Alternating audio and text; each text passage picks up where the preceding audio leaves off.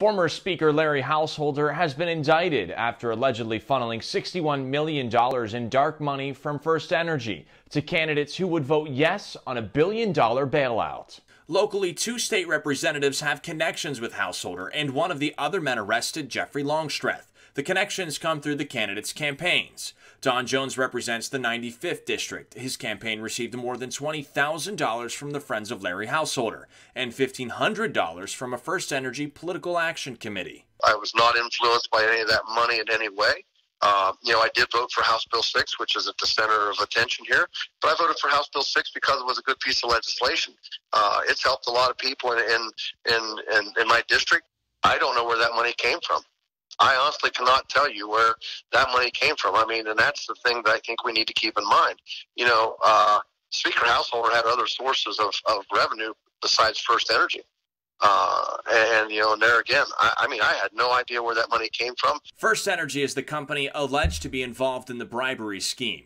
Jones's campaign also paid out more than $32,000 to JPL and Associates. That's a political consulting group run by Jeffrey Longstreth.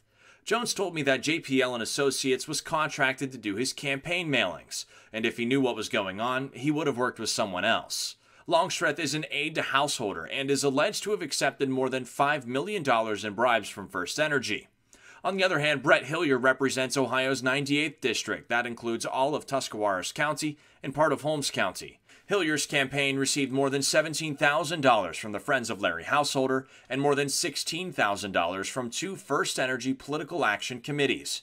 The campaign also paid out more than $45,000 to Longstreth Consulting Firm. All of these numbers are according to the Ohio Secretary of State, and Hillyer's campaign did not return a call for comment. House Democrat from Bellaire Jack Cera, who voted to make Householder Speaker of the House, reacting to Thursday's proceedings.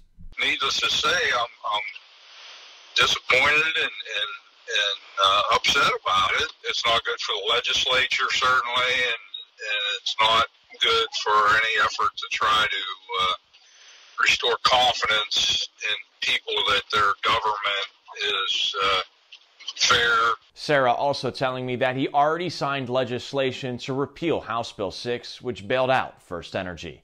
Reporting for News 9, I'm Gage Goulding.